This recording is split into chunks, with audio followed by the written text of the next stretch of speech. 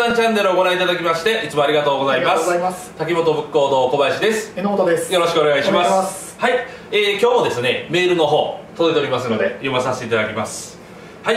えー、先日はい。滝本仏講堂のこの仏壇チャンネル、はい。チャンネル登録をさせていただいたもんなんですけれどもと。ありがとうございます。はいありがとうございます。はい。なんですけれども先日あのえっ、と吹き流しはいやりましたね。結構前やりましたね。吹き流しを見させていただいたんですけれども、その時に吹き流しの、えー、と一緒に鯉のぼりのはお話がまあそれもちょっとしまし出たね。ておりました、ははい。いでその鯉のぼりの方なんですけれども、はい。吹き流しは弱かったんですけれども、は鯉のぼりはなぜ鯉になったのか。はい。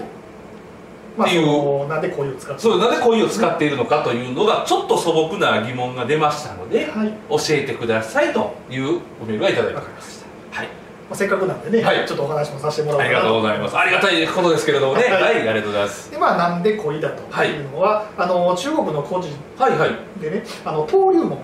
これ登竜門というのを聞いたことありますね。多分ね、い、ろんなところで使うんですけど、はい。そこからあの来てましてね、はい。まあ言ったら子供さん言うたら鯉のぼりするのってまあ子供の節。句そうですね5月なりねはい、ですから子供さんの無病息災だったり、はいあのまあ、立身出世、まあ言ったらねいこうすくすく育って、はいはいはい。まあ、あのやっぱりねよあの反映してもらうそうですね。ね。要は聞きますね。そういう意味でね。はい。できてるっていうのがもともとありまして、はい。でまずその登竜門っていうのがまず何かはいっていう話なんですけどもこれまああの中国の故事ですね。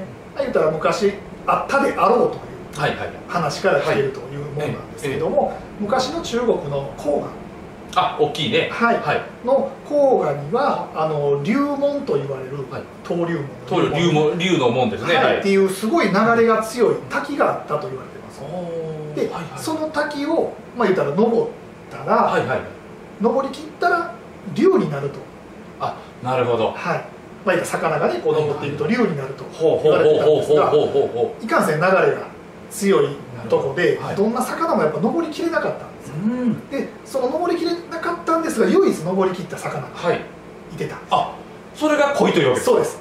なるほど。ですから鯉が登ってその龍門を上がったということではいはいはい。登竜門ですからまあそういうところからもじって鯉のぼりの時に、なるほどね。はい、使ってはるというのが来てると。なるやっぱりそんだけ強いとはい。強い男の子になれっていう意味もあると。まあありますね、なるほど。まあでもやっぱり一番は元気にそうですね。親御さんからしたらね、だからいわゆるそのな一番上にある吹き流しの方はまあ魔除けみたいなそうですねあ意の鯉のぼりの時で言うたらね、はい。あのそれをせっかくんそうやってねこうつけてるのに、はい。あのみ神様に見つけてもらわなかったら意味がないんで、まあまあはいはい。まあそういう目印の中なるほど。あとまあ魔除けですね。悪いものがこう来ないように。なるほど。まあ、これもまあ他の動画でちょっとお話ししたんですけど、はいこの前のね。風はあんまり良くないものを呼んでくるというようなこともあったんでちょっと魔除けの意味合いも込めて風がこうね吹いてくるそういう意味やったんですね、勉強になりました。ありがとうございます。またご参考にいただければいいかと思います。今日はどうもありがとうございました。